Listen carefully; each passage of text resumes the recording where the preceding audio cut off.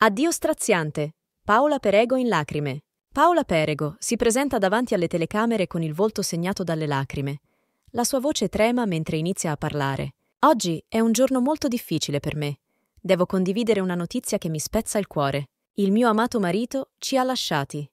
Non riesco a trovare le parole per esprimere il dolore che provo. Abbiamo vissuto insieme momenti indimenticabili. Ogni singolo ricordo è inciso nel mio cuore, per sempre. Il suo sorriso, la sua voce, il suo amore. Tutto mi manca terribilmente.